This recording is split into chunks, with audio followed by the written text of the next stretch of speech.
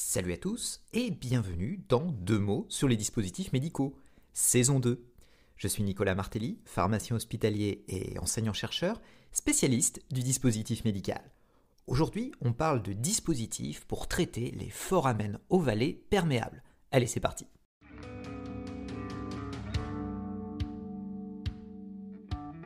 Deux mots sur les dispositifs médicaux, le podcast qui, en moins de deux, vous en dit plus sur les dispositifs médicaux.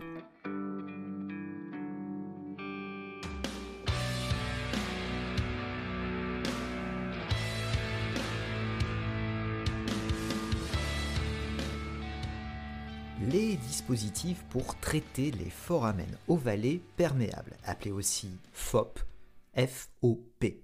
Bon, ok, euh, c'est pas très parlant, même si vous êtes latiniste.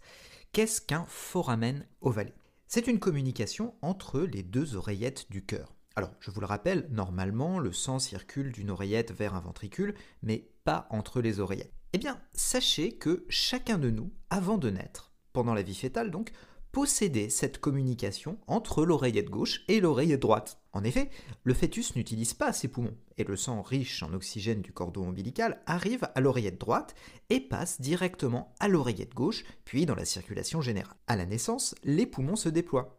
Mais oui, souvenez-vous, vous avez d'ailleurs crié très fort, sous l'effet de la surprise sûrement. Cette activation, entre guillemets, des poumons entraîne une chute de la pression sanguine dans l'oreillette droite, et un peu comme un courant d'air qui viendrait claquer une porte, eh bien cela obstrue le trou, donc ce fameux foramen ovale, qui est censé en plus disparaître en principe totalement au cours de la première année de vie. Seulement voilà, pour près d'un quart d'entre nous, ce foramen ovale ne disparaît pas complètement et reste totalement ou en partie ouvert. C'est pour ça qu'on l'appelle un foramen ovale perméable, car il laisse encore passer le flux sanguin. Certains d'entre vous sont peut-être déjà en train de paniquer et se dire Oh, j'ai donc une chance sur quatre d'avoir un cœur pas totalement bien formé alors C'est grave? Ben non, pas vraiment. On peut dire que c'est plutôt une variante anatomique avec une telle fréquence dans la population. Toutefois, dans certaines situations, on pense que ce foramen ovale pourrait conduire à des événements pathologiques, comme le passage dans la circulation artérielle de caillots pouvant conduire à des accidents vasculaires cérébraux ou AVC, des AVC ischémiques, vous vous en souvenez, on en a parlé récemment dans un épisode de deux mots sur les dispositifs médicaux, voire même d'autres embolies à d'autres endroits du corps. Alors attention, prudence, sur ce sujet, la science n'a disons pas totalement statué. En effet, il y a beaucoup d'indices faisant le lien entre le FOP et la survenue d'AVC ischémiques, mais rien n'est prouvé de façon irréfutable.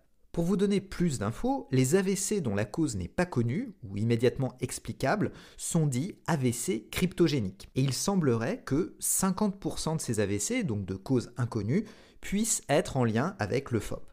Toutefois, le FOP est tellement fréquent dans la population générale, hein, je vous l'ai dit, environ 25%, qu'il pourrait aussi s'agir d'une simple coïncidence. Ok, donc si ce n'est même pas sûr que le FOP est en cause, est-ce que le traiter en l'obstruant avec un dispositif médical, on va en parler tout de suite, sert vraiment à quelque chose? Apparemment, oui, il y a plusieurs études cliniques à la méthodologie robuste, en tout cas, qui accréditent cette thèse. De plus en plus de données cliniques aussi suggèrent que la fermeture du FOP lors d'un premier AVC de cause inconnue permettrait de diminuer significativement le risque de récidive, donc de refaire un AVC.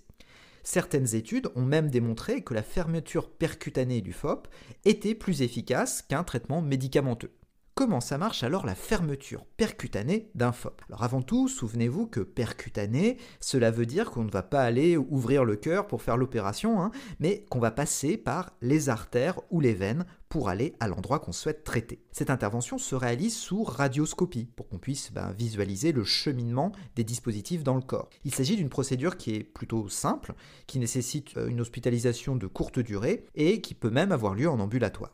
Alors comment ça se déroule? Ben, On va passer par la veine fémorale et on va remonter la veine fémorale avec un cathéter jusque dans l'oreillette droite. On passe à travers le trou qu'il y a entre les deux oreillettes, hein, ce, ce, FOP donc, avec un cathéter qui porte une sorte de gaine dans laquelle se trouve le dispositif implantable qui va servir à obstruer le FOP. N'ayant toujours pas d'image à vous montrer, hein, vous devez imaginer un dispositif qui ressemble un peu à une sorte de diabolo. Mais si, vous savez, ce jeu très énervant avec deux bâtons, une ficelle et ce diabolo qui tombe tout le temps.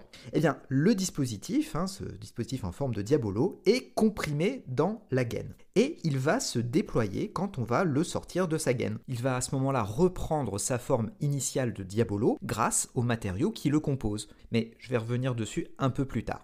On pousse donc la gaine à travers le trou jusque dans l'oreillette gauche, on va tirer légèrement sur la gaine et ainsi le disque le plus distal est déployé du côté de l'oreillette gauche et appliqué contre la paroi qui sépare les deux oreillettes.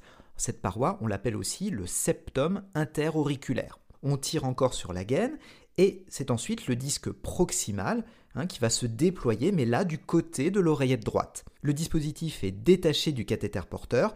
Ça y est, j'ai donc largué cette espèce de diabolo qui bouche le trou entre mes deux oreillettes.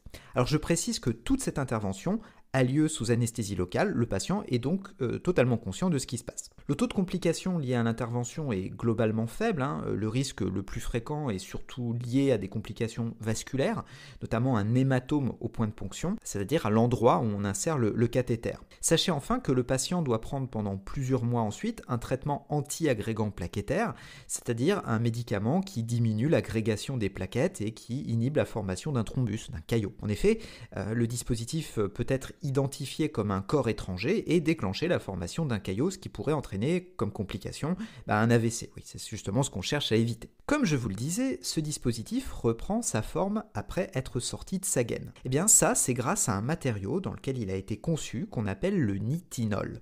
Le nitinol, c'est un alliage entre du nickel et du titane et qui est hyper répandu dans le monde du dispositif médical, en particulier pour les dispositifs médicaux implantables comme les stents par exemple. On dit que cet alliage est à mémoire de forme car il reprend sa forme initiale à une température donnée. Ce n'est pas sa seule propriété intéressante d'ailleurs, il permet aussi de faire des produits super élastiques, très pratiques pour atteindre des endroits peu accessibles, ben, comme un FOP par exemple. En résumé, le foramen ovale perméable est une particularité anatomique très répandue dans la population et pourrait être à l'origine d'AVC dont la cause n'est pas connue. Sa fermeture par voie percutanée est possible grâce à des dispositifs médicaux dédiés et au cours d'une intervention sur sous radioscopie. Pour creuser ce sujet, je vous invite à consulter les liens que je vous laisse dans les notes de cet épisode. Ici s'achève cet épisode de deux mots sur les dispositifs médicaux. Merci beaucoup pour votre écoute et je vous invite à faire les foufous en me laissant des commentaires, des pouces bleus, des étoiles, partout où vous pourrez. Merci encore et à très bientôt. Salut à tous